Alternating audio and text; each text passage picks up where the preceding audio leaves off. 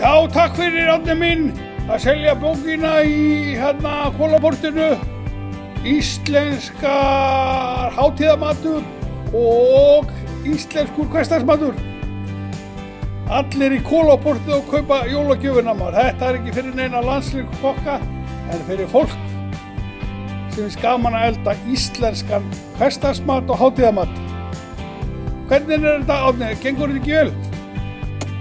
Jú, jú, gengur bara að bila og salam. Salam mikið að bækur í kólavortinu. Takk fyrir maggi minn. Já, þakka fyrir átni minn. Lesaður.